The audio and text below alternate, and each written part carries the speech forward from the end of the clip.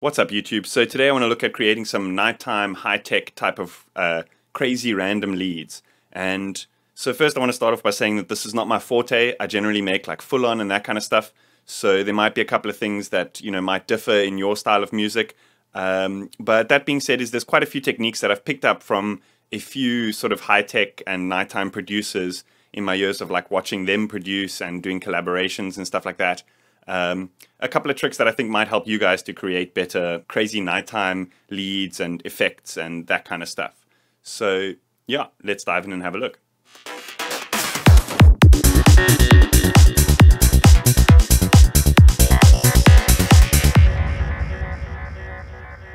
So the kind of core idea behind uh, what I'm going to explain in this video is to kind of create your own patch and record it while you play it over, you know, several bars, maybe the entire track. And, you know, then cherry pick the best parts out of that and loop and chop those up and stuff like that. And the reason I'm using Phase Plant is it's incredibly diverse in how you can create your sounds. You know, there's kind of no barriers in terms of, you know, how to route things. So specifically for these kind of more crazy psychedelic sounds, um, it's a very good option because, you know, you can set macros and all sorts of modulators to do, you know, so many different things that you could like hit space and let it play randomly and record a bunch of stuff and then cherry pick those, or you can assign a bunch of macros and play the patch while you're recording it. So what I want to do here is I want to recreate a, a patch that I made um, that kind of shows off a particular effect uh, in the Kilohearts arsenal, and that's called the frequency shifter. And this is very cool for these kind of like very randomized psychedelic sounds because you can pretty much feed any audio source into that and create these weird effects. So I want to show you the power of this quickly using a random. So let's set this to like 4 over 16 and then something like this. So of course there's no audio coming in here yet. So we can actually just put on an analog and that's now sending to the frequency shifter.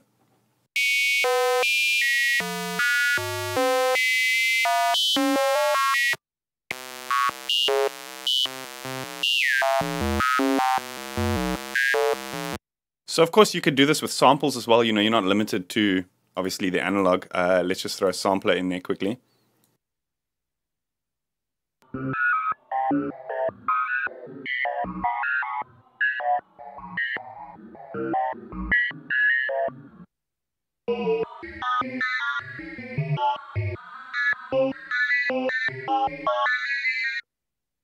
So just that one effect, you can make some pretty wild sounds. And, you know, the cool thing about this is you can record it out like bars of those randoms and just chop out like, you know, quick segments which sound good and then apply effects on those and stuff like that. And it's a cool way of creating these very kind of unexpected uh, twists and effects for your tracks. I just want to set this uh, down an octave. It already sounds a bit better.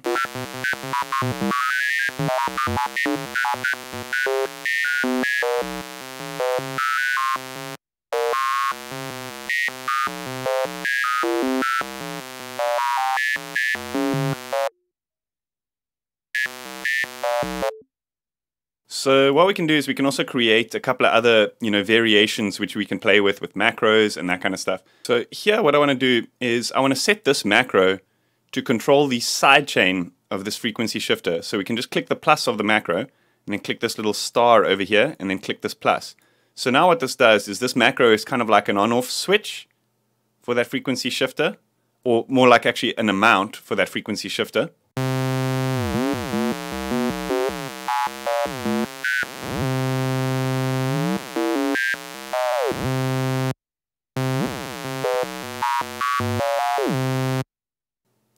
So you can create some pretty interesting effects with that.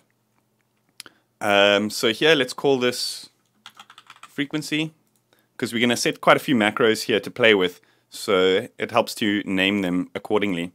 So here what I want to do is I actually want to create another oscillator, and we're going to use this one to modulate the first one over here. So let's set this down two octaves, one below the original, and let's set this audio output to phase modulate. I find that's a little bit easier to work with than FM in terms of like pitch and that kind of stuff.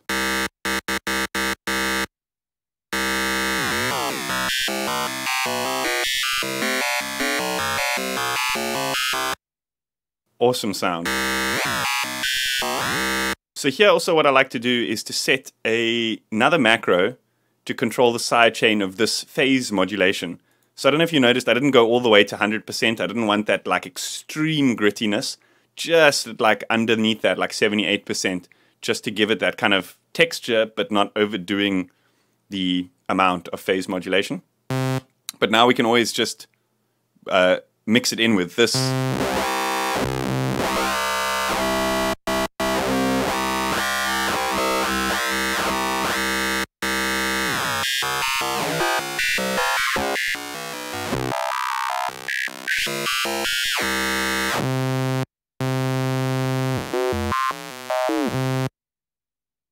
So here what I want to do now is I want to create an LFO, just a sine wave, something like this. Um, let's turn the frequency down quite a bit. And we're going to set this to control the pitch of this guy over here. But we also want to set another macro to control the sidechain of that. Um, because we don't want it controlling the pitch all the time. We're going to want like, you know, during the bar, we're going to want it at like a stable pitch and then maybe at the end of each bar or just like a flourish in between the bars, we can like turn the macro up, have it do a crazy thing, and then turn it back down again. You know, just creating these kind of patches which you can play with to create variations, you know, as you as you play the track. Uh, then let's assign this one to to that. So now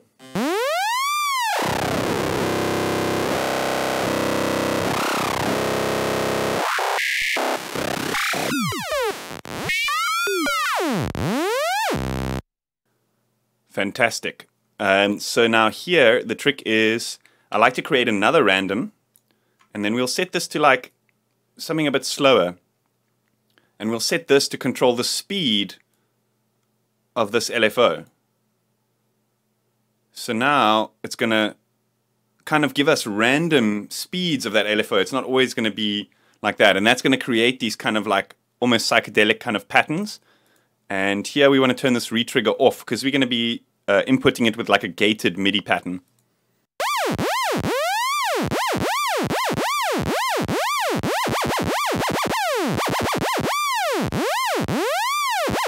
And I find it helps to set this to unipolar, so it's only speeding up the pitch. It's not going kind of below this hertz that we set over here.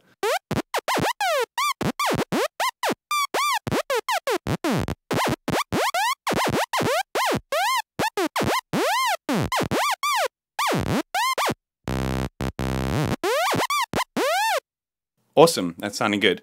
So, in terms of effects on the actual patch, I like to leave it pretty bare because we're going to be bouncing out a long section of the audio and then we're going to want to apply reverbs and delays and stuff like that to the actual processed audio.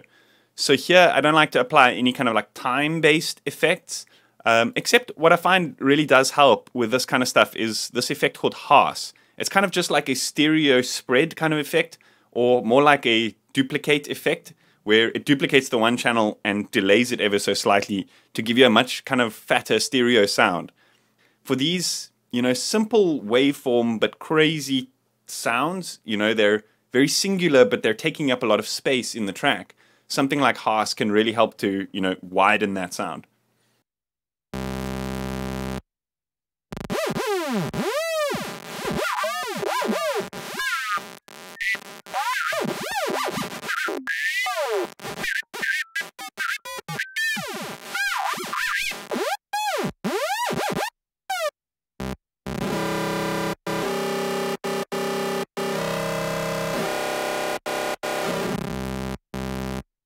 Awesome. So what I want to do here quickly is let's get through part one of this. Um, so we've created our kind of basic patch, which we're going to use to create a variety of sounds from. And the easiest way to go about recording, you know, this sound live as audio in Cubase is to actually create a group. uh, so let me open up my mixer quickly, is to create a group and then send the audio from that group into a new audio track. So let's go add group channels to selected track. Let's call this record group. And then we can add a new audio track and we can set the input of this audio track here to record group.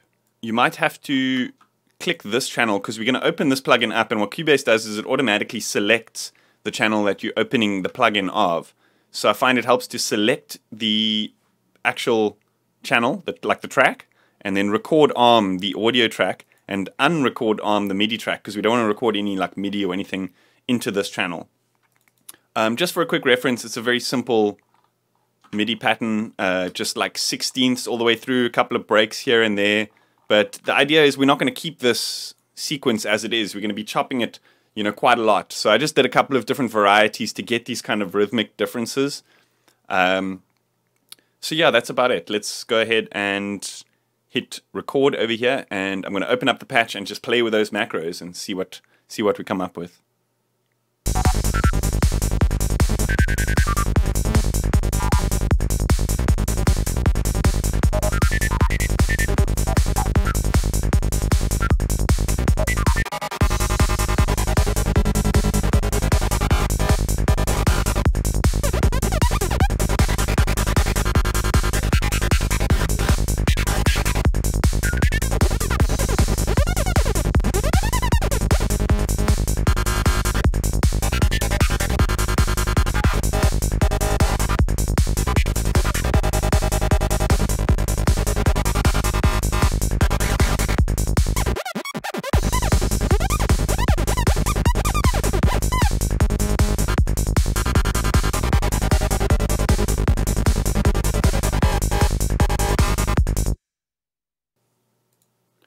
Awesome. So we got a nice long chunk of crazy synths to chop up. And what I want to do now quickly is show you guys how to quickly make a cool variation on that. Um, so here I actually want to just duplicate this, delete what's on it, just so I can record straight into this new channel.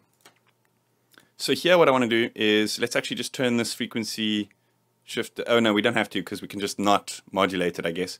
Um, so this pitch LFO here, I actually want to change this so that it's on a filter. So let's put this filter over here and change it to a band pass and then set this to modulate the cutoff. So then we can just play around with the slope and the Q over here to get some interesting effects. But essentially we're creating a randomized filter effect here and we'll choose, you know, which setting on the PMOD sounds the best.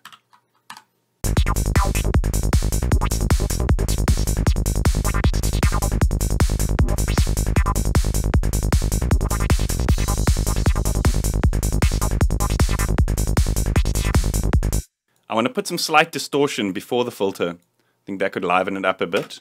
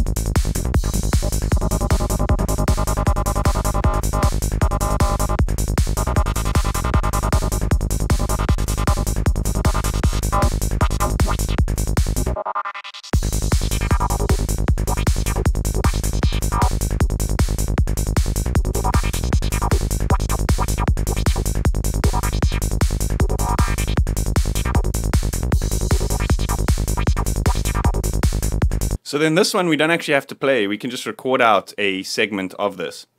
Um, because it's kind of got that randomized pitch stuff, you can play that phase modulation if you want. Um, but I just like to bounce out a long segment of this kind of thing. and then chop it up and put uh, effects and stuff on there.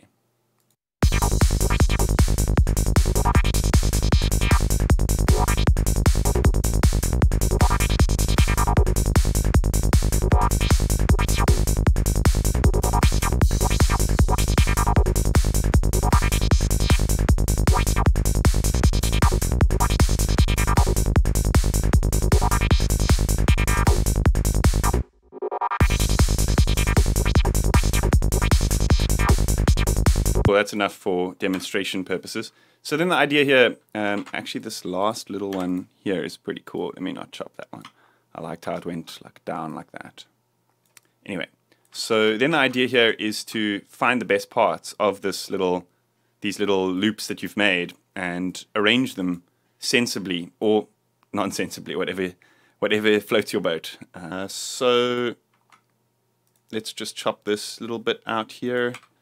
And this mute tool and the scissor tool are going to be your best friends in this type of thing. So actually, let me just go ahead and put a delay on here.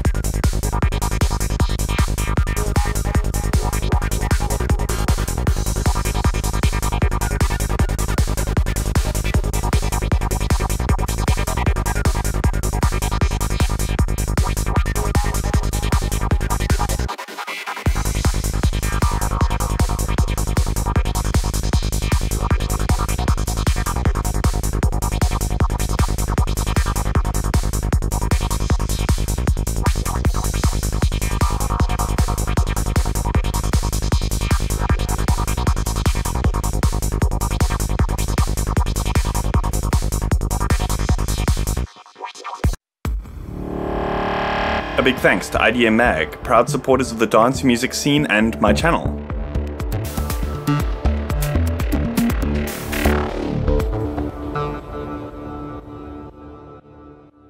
Awesome. I'm sure you guys get the picture. I'm going to be posting this uh, preset that I made in Phase Plant to my Patreon for all my $5 supporters so you guys can make these kind of random sounds if you want.